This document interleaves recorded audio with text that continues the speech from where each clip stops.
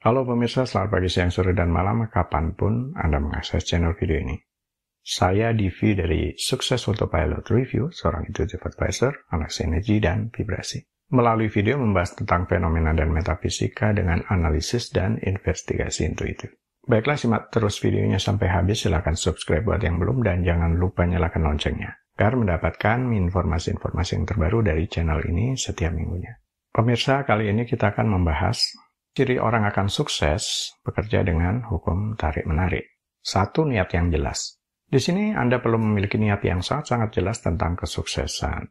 Seperti apakah kesuksesan itu jika Anda rasakan? Seperti apakah kesuksesan itu menurut gambaran Anda? Setiap orang mempunyai gambaran atau pikiran yang berbeda-beda tentang kesuksesan. Sukses dapat didefinisikan dalam pengertian umum dan pengertian khusus. Secara umum, sukses adalah pencapaian tujuan yang ditetapkan.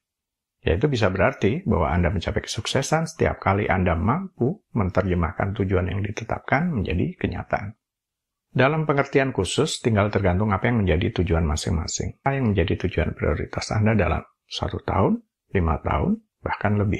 Ada yang memprioritaskan bidang keuangan perekonomian dulu, mungkin bisa tentang karir atau pekerjaan dulu, sedangkan yang lainnya mungkin memulai usaha atau bisnis sendiri dan sebagainya.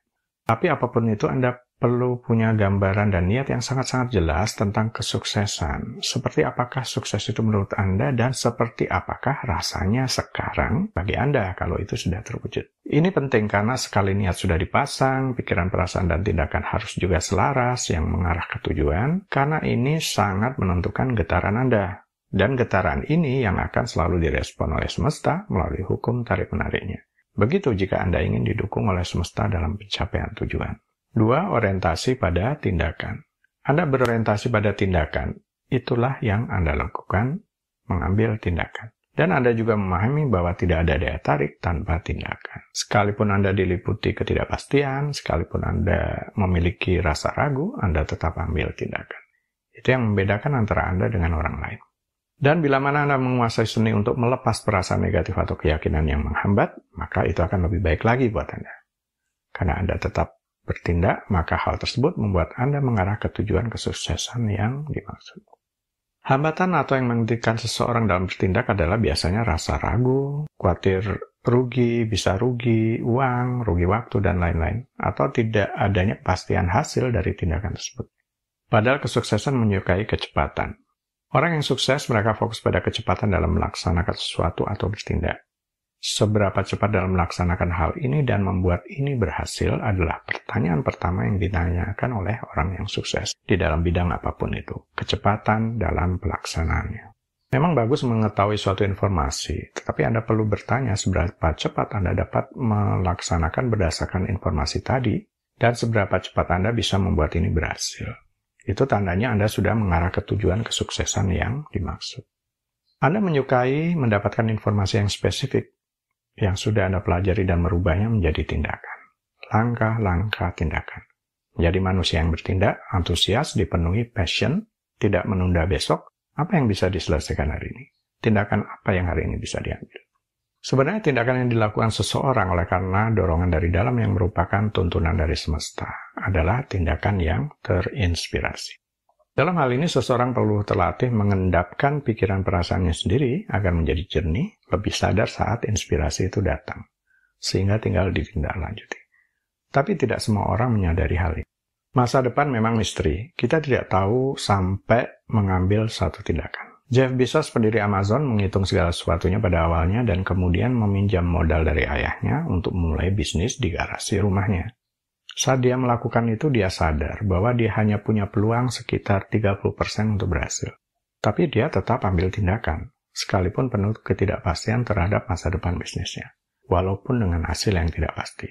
Sekarang, kita tahu sebesar apa Amazon di hari ini. Tiga, menjadi yang berbeda. Usahakan menjadi yang pertama, atau menjadi yang terbaik, atau setidak-tidaknya menjadi yang berbeda, dalam arti yang positif. Menjadi yang berbeda adalah pilihan lain jika kita tidak bisa menjadi yang pertama atau yang terbaik di bidangnya. Sama-sama bisa sukses di bidangnya dengan menjadi yang berbeda. Menjadi berbeda di sini bisa berarti menjadi otentik. Orang-orang mengenali kita karena hal ini yang membedakan dari orang lain, walaupun sama-sama berada di bidang yang sama. Pelanggan, rekan kerja, orang lain bisa merasakan ini di tingkat sadar atau tidak sadar. Orang otentik menunjukkan kepercayaan diri dan harga diri yang sehat, karena mereka merasa baik-baik saja tentang diri mereka sendiri. Mereka cenderung tidak bersikap defensif atau tersinggung. Mereka mampu meminimalkan kritik diri, mereka merespon kritik dengan lebih baik dan sering melihatnya sebagai peluang untuk meningkatkan diri daripada terhambat olehnya. Menjadi pribadi yang lebih santai dan nyaman. Orang yang otentik dapat lebih mudah fokus karena tidak terlalu khawatir terhadap penilaian dunia luar terhadap dirinya. Mudah mengekspresikan diri karena percaya apa yang dilakukan dalam memberi manfaat bukan hanya kepada manusia lain, tetapi kepada seluruh makhluk. Didasarkan pada nilai diri, Orang-orang yang otentik meluangkan waktu untuk memikirkan bagaimana mereka memandang kehidupan, nilai-nilai mereka, dan situasi yang mereka hadapi. Begitu mereka sampai pada nilai-nilai itu, mereka cenderung tidak terpengaruh oleh pendapat atau pikiran yang berlaku umum, tidak bergeser dari tujuan. Orang otentik merasa bebas untuk memberi dari hati, baik itu hadiah, sumbangan amal, atau bantuan ekstra di tempat kerja. Itu dilakukan dari keinginan untuk memberi dan menjadi produktif, dan tidak mau menjadi beban bagi orang lain. Empat, fokus yang penting saja. Efisiensi dalam waktu, fokus yang penting saja. Anda memahami bahwa satu aset penting adalah waktu Anda.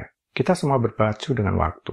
Anda memahami bahwa Anda memiliki waktu yang terbatas untuk menuntaskan tujuan yang besar dan impian Anda. Menjadi orang yang sangat menghargai waktu, dan Anda juga tidak mau membuang waktu dengan memangkas beberapa hal yang tidak perlu dilakukan dalam hidup. Anda berorientasi pada hal yang ringkas, mengelola waktu dengan baik. Setiap menit dari hari Anda adalah diperhitungkan, karena itu penting bagi Anda. Dalam setiap bidang kehidupan kita, kita dapat menemukan hanya sedikit hal saja yang memang benar-benar penting bagi kita. Boleh dibilang, setiap hari kita dikelilingi oleh hal-hal yang sepele, remeh, atau tidak penting. Kalau kurang sadar, waktu dan energi Anda akan tersita untuk hal-hal semacam ini. Menguras energi, membuang waktu, dan tidak berkontribusi terhadap hasil. Pikirkan sedikit hal saja namun benar-benar penting dari total kegiatan Anda setiap hari. Sedikit hal namun produktif, menghasilkan, dan benar-benar relevan dengan arah tujuan dan impian Anda. Sadar, fokus, konsisten di situ. 5. Percaya dulu baru melihat.